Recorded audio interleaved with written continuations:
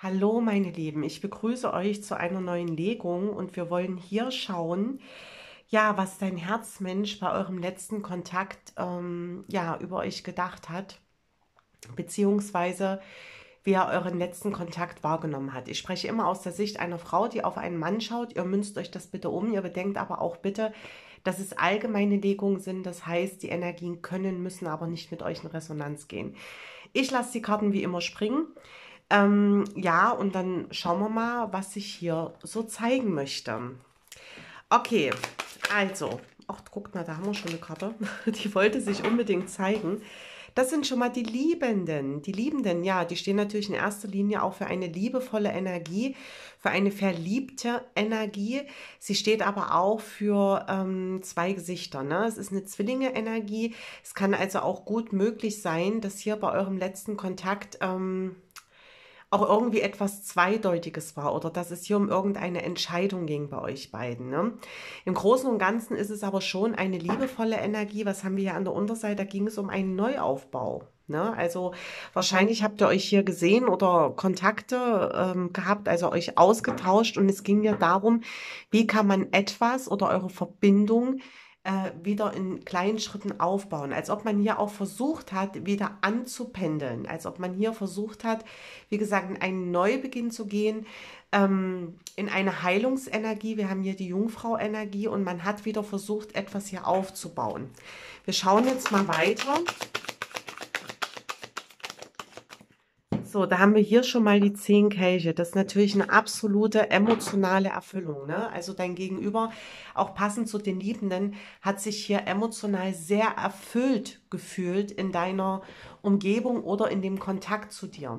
Es kann aber auch sein, und das darf man bei den Kelchen auch nicht unterschätzen, Kelche ist nicht unbedingt immer etwas, was sofort greifbar ist. Ne? Wir haben hier eine Fische-Energie, ein neptunisches Prinzip und Mars in Fische ähm, ist die Aktivität, die oftmals so ein bisschen im Sande verläuft. Das ist so dieses, ich bin aktiv, aber in meinen eigenen Träumen, in meinen eigenen Vorstellungen. Und ich kann mir hier gut vorstellen, dass dein Gegenüber in ja, seiner, seiner Vorstellung, seiner visuellen Kraft ihr die absolute Erfüllung mit dir leben wollen würde und sich hier emotional, wie gesagt, total erfüllt gefühlt hat.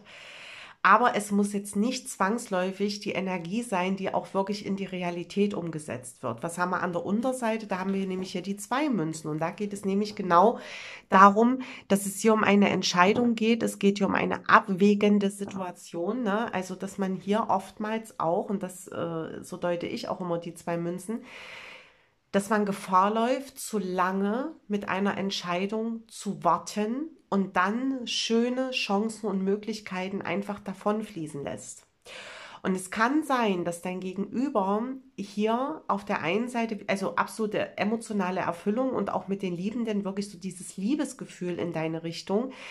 Ähm, aber man versucht das auch immer so ein bisschen, na, wie soll ich sagen, so ein bisschen auszusitzen. Man trifft ja keine klaren Entscheidungen. Aber ich nehme das so wahr, dass dein Gegenüber, dass ihm das aber auch schon bewusst ist, dass hier irgendwo Entscheidungen getroffen werden müssen. Beziehungsweise kann es sein, dass dein Gegenüber hier auch Chancen und Möglichkeiten sucht, um eine neue Stabilität in eure Verbindung zu bringen. Jetzt lasse ich mal hier noch, also noch mal eine Karte springen.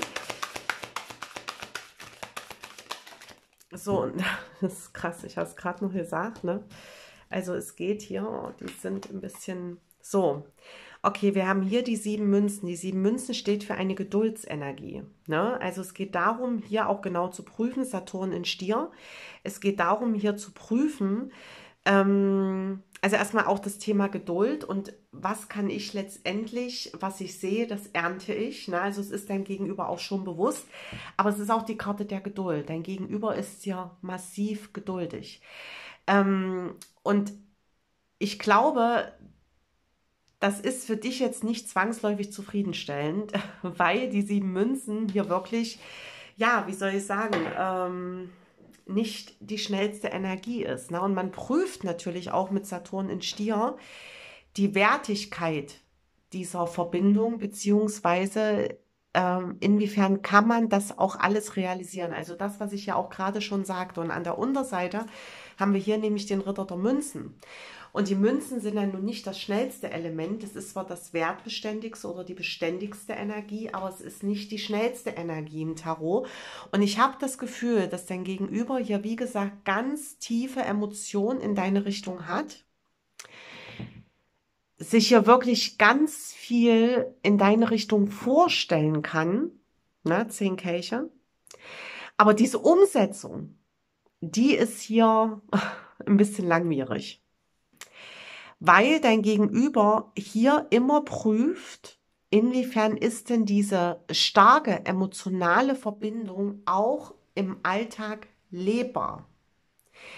Es kann natürlich auch sein, das sage ich auch ganz ehrlich, dass dein Gegenüber sich ja auch mit dieser existenziellen Situation auseinandersetzt also, dass man hier wirklich schaut, okay, wenn man sich jetzt auf dich einlässt, inwiefern ist man denn hier auf demselben Nenner, wenn es um Existenz geht? Also, verdient ihr ähnlich? Habt ihr ähnliche Vorstellungen, ne? Ähm, häusliche Situationen? Äh, wie könnte man also auch diesen gemeinsamen Alltag bewältigen? Also das nehme ich ja auch so wahr, dass sich dein Gegenüber darüber tatsächlich auch Gedanken macht. Ne?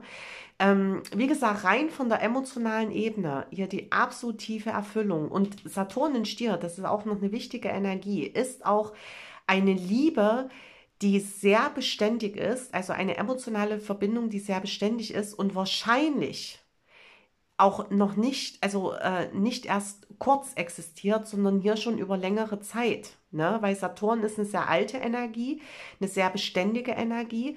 Und Stier lässt auch nicht so los. Also Stiere, die brauchen wirklich im Tierkreis, sind die, die am, am schwersten irgendeine Situation loslassen können.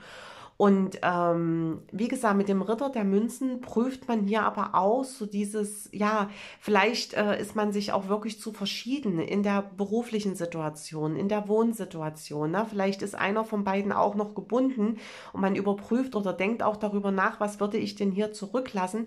Was habe ich mir schon aufgebaut? Was würde ich zurücklassen, wenn ich mich jetzt auf eine Verbindung mit dir einlasse?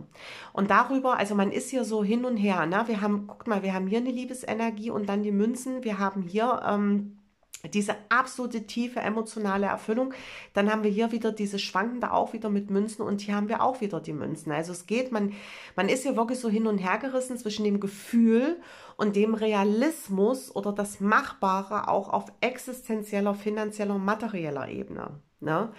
Also das nehme ich hier schon so wahr, dass dein Gegenüber da wirklich sehr hin und her gerissen ist. Aber ich denke auch, dass dein Gegenüber bewusst ist ähm, oder auch im letzten Treffen oder Kontakt wieder be äh, bewusst war, dass man hier nicht zu so sehr oder nicht zu so lange mit diesen Möglichkeiten spielen kann.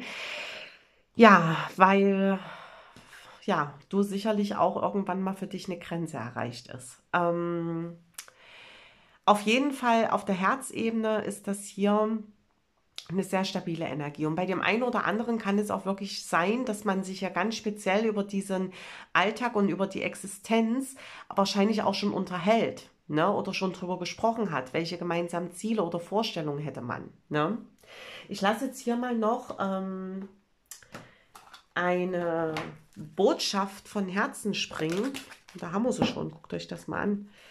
Zwillingsseelen, eure Leidenschaft ist entflammt.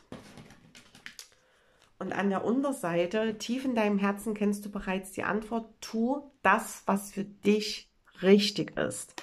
Und das meine ich auch immer. Ne? Ihr dürft hier schauen, äh, was fühlt sich für euch stimmig an. Ne? Ähm, begebt euch hier nicht unbedingt in so eine Warteschleife, sondern macht euer Ding.